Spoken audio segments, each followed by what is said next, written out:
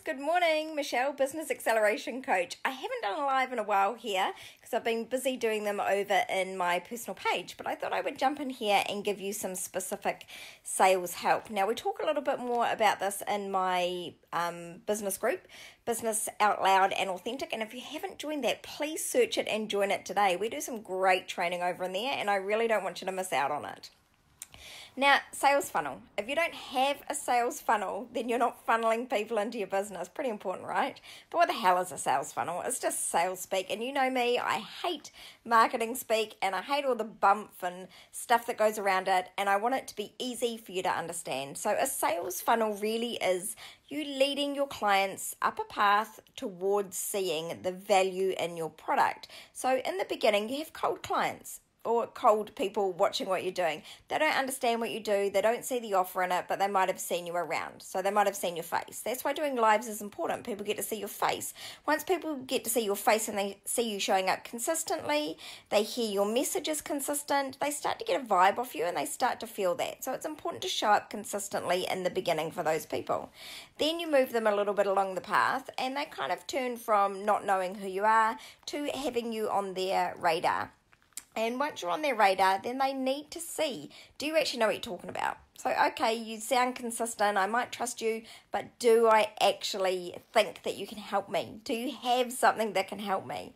So, then that's when you want to be starting to create your lead magnets. What can you give your clients for free?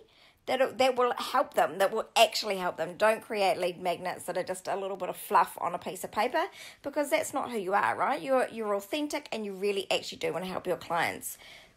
Stop that, Georgie. Sorry, my dog is bumping me all around. He wants to be in the live and he's not invited today. Um, so give them real value when you do a lead magnet. Make it real and make it professional. It doesn't matter that it's free, it still needs all of the sales. You need to tell them what it is, why they need it, what it's going to do for them, how the steps are easy, and what to do at the end of it. Make everything you do 100% professional. If you haven't set a New Year's resolution, maybe make it that. Make everything 100% professional. Then further on from the lead magnet, and that's exactly what it is, right? So clients that come into the funnel are a lead. A lead is someone that you can lead towards making a sale. So, and magnet is attraction. So you're attracting leads into your sales funnel. Oh, look, he did get into the live. Yes, Georgie, very cute.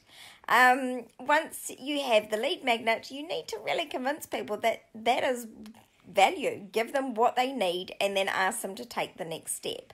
So, what that next step is should be a way that you actually work with those clients. So, how do you work with your clients? Is it online? Is it one on one? Is it through um, media? How is it that you actually work with your client? Make your core offer match your lead magnet, and then you'll have a beautiful flowing sales funnel. Don't offer, I don't know, an online consultation if you actually work with your clients only face to face. It needs to actually make sense. So that's all about sales funnels, and we are going to do some further training about lead magnets over in the group. So if you're not in business out loud and authentic, go and join it now. Okay, bye.